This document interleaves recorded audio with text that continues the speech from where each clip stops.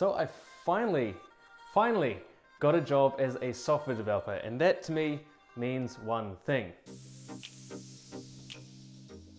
So I want to bring you on this journey and basically show you guys what it's like to be an intern software developer over the course of the next three months, going from this fledgling graduate kind of thing to a hopefully semi-proficient uh, software developer by the end of the three months.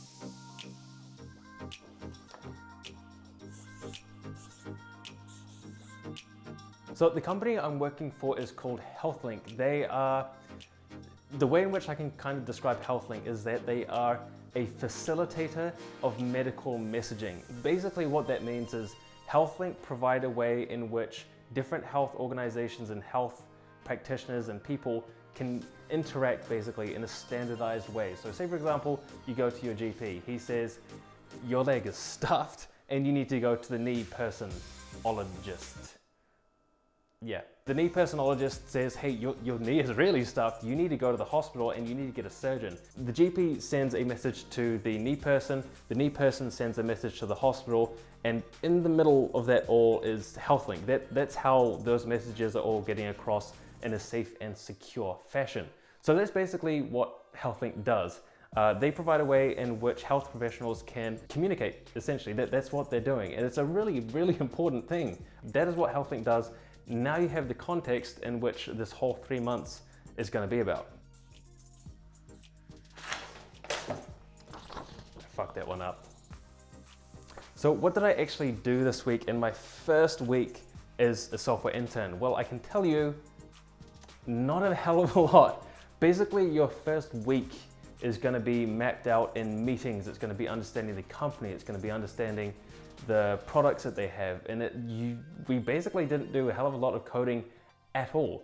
Uh, on the first day, we set up our development environments. We downloaded all the tools and stuff like that. We went through all the HR stuff, um, so getting the payroll sorted. Basically, the, the, standard stuff that you'll get into whenever you go into a, a company. The second, third, and fourth days were basically dedicated to meetings. There is so so many meetings, especially if you go into a big company. Small company, again, very different. This is quite a large company. It's got about 100 employees, I think. You learn, again, about the products, you learn about the software development process, you learn about their architecture, you learn about their uh, ITS services, you learn basically a really broad spectrum of things, as well as that at the same time you're getting all your login info and bloody, bloody, bloody, bloody, bloody, bloody, blah. Basically, that, that's what I did this week. What did I learn?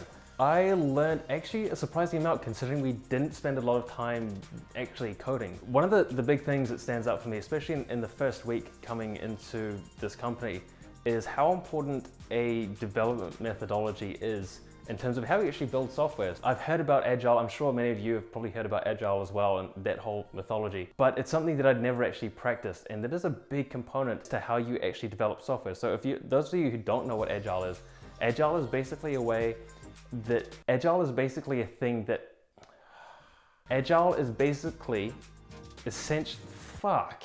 Agile is a way in which you develop software. It's a set of processes, regulations, guidelines as to how you should actually interact with a team, but also interact with a client as to how to actually build the software. So it's something I'll talk about in a later video. I'm gonna do a whole video on Agile versus Waterfall and why I think Agile is a really great methodology for uh, development. But again, video for a separate time. That's one of the things I learned this week. It's something that I'm really thrilled uh, to keep on learning in the future. I'm also kind of dealing with the fact that big business versus small business, uh, big business, it takes it a little bit longer to get things done, but you do have more of a support network there as well. It, it's quite nice having all these resources at your disposal. Oh, there's so much jargon. This is something that you are all going to have to get used to when you go into a bigger company. And that is the amount of acronyms, the amount of jargon. It's the PMS, AMS, DMZ, there's a lot of it. You're going to have to learn all of the jargon and it's going to take you some time to get used to the kind of slang uh, within each separate company. So if you're someone who likes to hop from company to company, good luck to you. You're going to be living in acronym city. Yeah, that's, that's basically it. So now on to part three.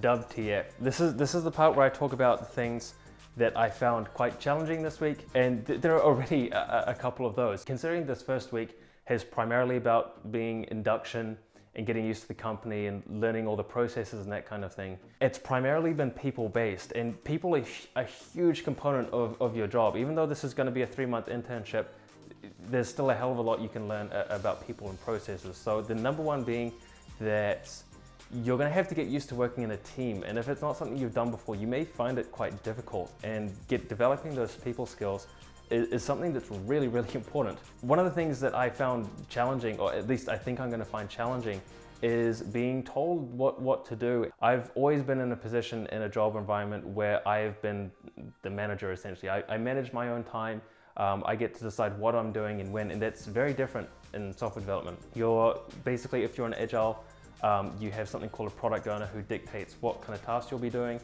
And it's a lot more regimented and, and your time is a, a, a lot more structured, which is which is a nice thing, but it also means that you do have to stick to a schedule. So work, working in a team environment as well, it's not something that you can go and pick, hey, I interviewed you and, and I like you, and hey, I interviewed you and you would be good in my team, come over here that's not that's not how it works. You get put into a team. So in this case, we've been put into a team of five developers and one kind of BA. I need to learn how to work as a team and, and to do so like well you, actually have to get to know each of the team members quite well in, in order to actually work with them so that's something that i've been I, i'm not saying struggling with but it's something that I'm going to have to learn how to deal with in working in this kind of really tight knit team. Not only so I can work with them without getting frustrated, but to also bring out the best possible work from me and from them.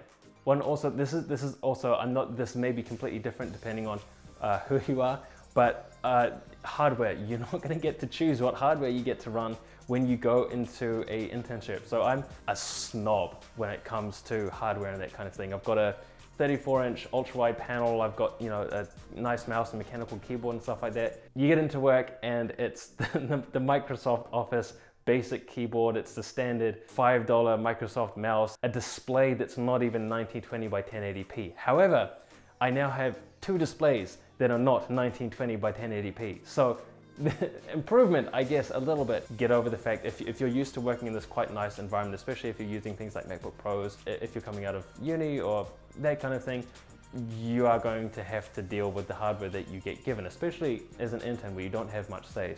A workman blames his tools, basically. So I'm gonna have to get over that. That's something I'll deal with. So I think that basically wraps it up for the first week as a intern software developer. I really like what I see from HealthLink so far. I'm really looking forward to getting more involved in the whole development process and really sinking our teeth into the project that we have because we only just got given a project and it's going to be a morale app where it's essentially tracking the moods of the people within the company, not like Skynet.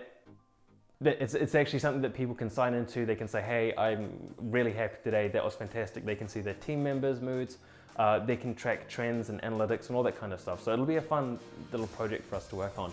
That I think wraps up this video. That's everything that I've done this week. That's everything I've had problems with. That's everything that I learned as well. So I'm gonna be doing this every week. It's gonna follow that same format without the context but at the uh, beginning. And it's gonna be hopefully a, more of a condensed video as well. I'm hoping to get this into five, six, maybe 10 minutes. And yeah, I hope you enjoyed it. I will see you in the next one. Hello. Hello. Da da da da da da da da da da da